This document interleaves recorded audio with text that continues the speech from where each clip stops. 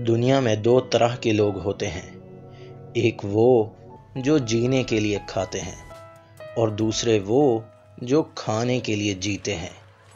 दूसरी किस्म के लोगों में मैं भी शामिल हूँ और मुझ जैसे लोगों को वक्त बे वक्त अपनी भूख मिटाने के लिए स्नैक्स की ज़रूरत पड़ती रहती है। और डेरा गाजी खान के मशहूर स्नैक्स में नाम मिर्ज़ा समोसे वाले का है। ये समोसे और ख़ास तौर पर इनकी चटनी अपने आला मैार की वजह से शहर भर में शोहरत रखते हैं। अपनी बेवक्त की भूख मिटाने के लिए मैंने भी एक ढलती सहपैर को मिर्ज़ा समोसे वाले का रुख किया और रेलवे स्टेशन के करीब वाक़ इन मशहूर समोसों का जायका चखने के लिए अपनी मंजिल की तरफ़ बढ़ने लगा। मौसम बहुत खुशगवार था। ठंडी ठंडी हवा गर्मी की शिद्दत को कम कर रही थी और कुछ अच्छा खाने पे उकसा रही थी। पूरे शहर को पीछे छोड़ने के बाद आखिरकार मैं अपनी मंजिल मकसूद तक जा पहुँचा। अंदर दाखिल होते ही गहमा गहमी नज़र आई। और लोग दूर दूर से तशरीफ़ फरमा थे इन समोसों के ख़ास जायके का राज जानने के लिए मैं दुकान के पीछे मौजूद इनके बावरची खाने में जा पहुँचा।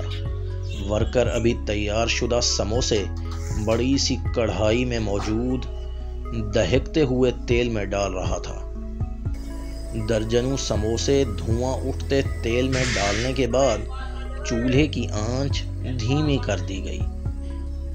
वर्कर बड़े से कफकीर को समोसों पे चलाने लगा, जिससे समोसे ऊपर नीचे होने लगे और तेल समोसों के दोनों अतराफ लगने लगा।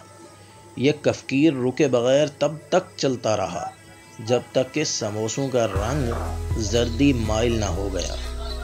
हल्की आँच पे इतनी देर पकने के बाद ये सुनहरी रंग के समोसे बहुत खस्ता लग रहे थे।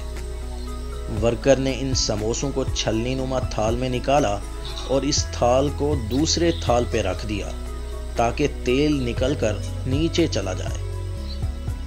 सफ़ाई और नज़ाकत का ये आलम था कि तेल में बाकी रह जाने वाले छोटे टुकड़ों को एक बड़ी सी छलनी की मदद से निकालकर एक अलग थाल में डाल दिया जाता। ताकि ये टुकड़े अगले पकने वाले समोसों को ख़राब ना करें।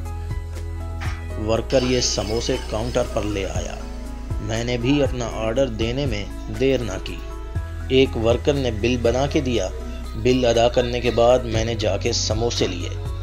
और दूसरे वर्कर से चटनी लेकर मैं सड़क पार, हवादार माहौल में मौजूद तख्त पोश पर विराजमान हो गया। मैंने एक समोसे के दो टुकड़े किए और चटनी में डुबोकर खाने लगा। इससे ज़्यादा मज़ेदार समोसे पहले कभी नहीं खाए। हम्म वाह। इन समोसों का जायका बहुत ही अलग और लजीज है। मुझे पता ही ना चला और मैं सारे समोसे खा गया। गर्मा गर्म समोसे खाने के बाद मुझे प्यास की शिद्दत ने घेर लिया। अभी मैं कोल्ड ड्रिंक लेने का सोच ही रहा था कि एक चलती हुई मशीन ने मुझे अपनी तरफ़ मुतवजह किया। मशीन का शोर जिस कदर तेज था, उसी रफ्तार से गन्ने का जूस भी निकल रहा था। बहुत सारे मुसाफिर अपनी प्यास बुझाने के लिए अपनी बारी के इंतज़ार में खड़े थे। मैंने भी अपना रुख इस तरफ़ मोड़ लिया। और बारीक बीनी से गन्ने के जूस की तैयारी का जायज़ा लेने लगा। वर्कर बहुत तेज़ी से हाथ चलाते हुए मशीन के अंदर गन्ने के साथ साथ पुदीने के पत्ते और लीमू भी शामिल करता जा रहा था। इधर से गन्ना अंदर जाता और दूसरी तरफ़ एक छोटी पतीली में बर्फ़ रखी हुई थी और जूस इसी बर्फ़ पे किसी तेज़ झरने की तरह बह रहा था।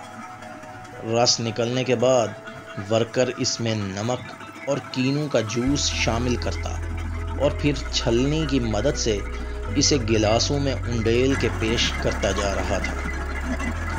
मैंने भी अपनी बारी का इंतज़ार किया और जूस मिलने के बाद एक ही सांस में पी गया।